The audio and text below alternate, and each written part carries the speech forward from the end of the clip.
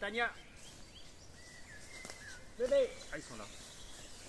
Ils sont là. Mais ils vont aller plus vite que moi. Oh. C'est bien. Hey. Ah bah dis donc, dresseur de chien, c'est pas de tourpeau.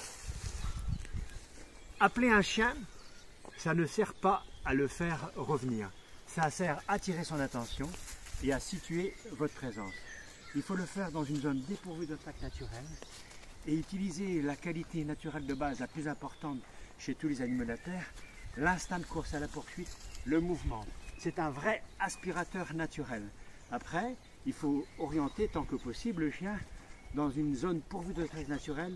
C'est une source intarissable de choses à découvrir. Petit bébé, les petits bûcherons là, et les petits bûcherons. Hop. Venez les bébés. Alors je me dirige vers donc, euh, le pays des mille et une merveilles. Bébé, bébé, bébé. Il y a des jolies petites fleurs violettes. Il y a des ronces clairsemées, des petits arbustes, des fougères. En fait, ces images-là, le petit chien les enregistre dans son esprit.